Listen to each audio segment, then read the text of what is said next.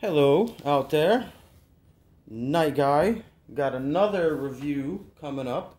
We, uh, like I mentioned before, my previous uh, Kyber Bowie review got a new box of weapons in. Very excited for that. Uh, here before us today, we have a black box special. Gotta love these. I don't know if you guys ever got any of these. These are definitely your flea market special. Um, most of these came from KC Edge. Um, I, I, have quite a few uh, sword machetes already from KC Edge. And I love these uh, little sword machetes. Um, they're very, very, very inexpensive. Um, mostly made of stainless steel. Looks like they come out of some, you know, machine press with just a flat piece of steel that they cut into shape and uh, put an edge on it. And um, there you go. Um, normally, I wouldn't recommend stainless steel uh, being used in swords. However, um, mainly longer swords. It seems like, uh, you know, from what I've seen, you can definitely get away with using stainless steel. It, it, tends to work very well. I've seen some high quality knives in stainless steel and machetes. So let's go right into unboxing it. I honestly can't remember which one is this one. Uh, gotta love that. Uh, you know, that's when you know you're just uh, getting a little too much ahead of yourself there. so uh, let's go ahead and get this one opened up there so I can uh, remind myself what it is, you know? Can't believe I don't remember. Anyhow, let's pull this one out. See what I have in here. Okay, yeah, this was the KC Edge. Um, let me see, what machete was this one?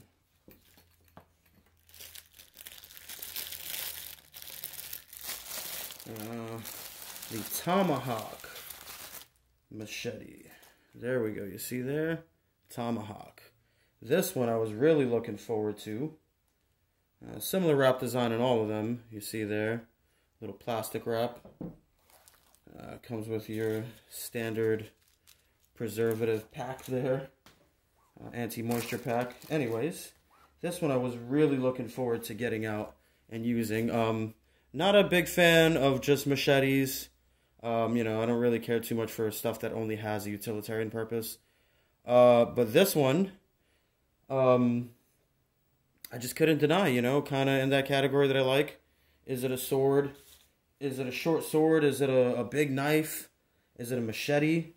Um, I would say it's kind of all the above. You know, it definitely has the qualities of a, a similar knife handle. Some would even say a messer handle. Um, there's not much uh, as far as hand protection goes on this. Just a little guard there to kind of, I guess, keep your your hand from, you know, riding onto the blade when you uh, thrust in or, or, do some work there. Um, but look at the curve on this blade. It, this is almost like a, what are those, uh, what do they call those with the forward curve? Uh, kukri. Almost like a kukri. Um, sorry, seems like uh, it's still rainy out here. Uh, the weather isn't doing too well. I don't know if you can hear me too well with all the rain in the background. But anyways, we're going to keep this video short. Um, uh, back back to this uh, nice piece. Uh, this is like a kukri almost, you know?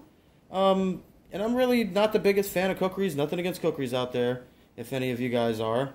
Um, I do like them, but it was just not really a collection I wanted to get into. You know, I kind of try to stay with just the swords and machetes, uh, mainly historically inspired, you know. Um, maybe I will pick up some more kukris after this one. But we're going to see how this one does. I love that forward curve. And I think this is awesome because it kind of has two curves almost, you know, the curve on the blade and it curves forward, which should help in some good uh, leverage. You know, let me see. Yeah, get a good swing out of it. It has a nice forward curve. I think this thing's going to cut very well. Let's see here. Definitely uh, stainless steel. I have... Uh, XL1552 stainless steel, handcrafted in China. Not really sure what that means. I don't know much about uh, steel ratings. But uh, this looks like a nice piece. Looks like it'll do some nice thrusting. It almost looks like it even is set up to make another edge here if you wanted to. Um, I'm not sure how often that's done. Need to do some more research. Anyone know if uh, blades like this are often, you know, bladed on this side as well? Let me know. Anyhow, let me know what you think uh, of this nice piece.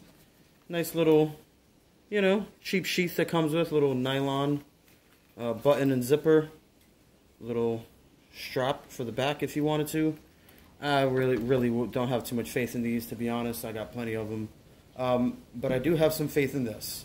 Can't wait to get out there and do some cuts and uh, torture testing with it. Let me know if you guys want to see some reviews on this one. All right. Thank you. Thank you for joining.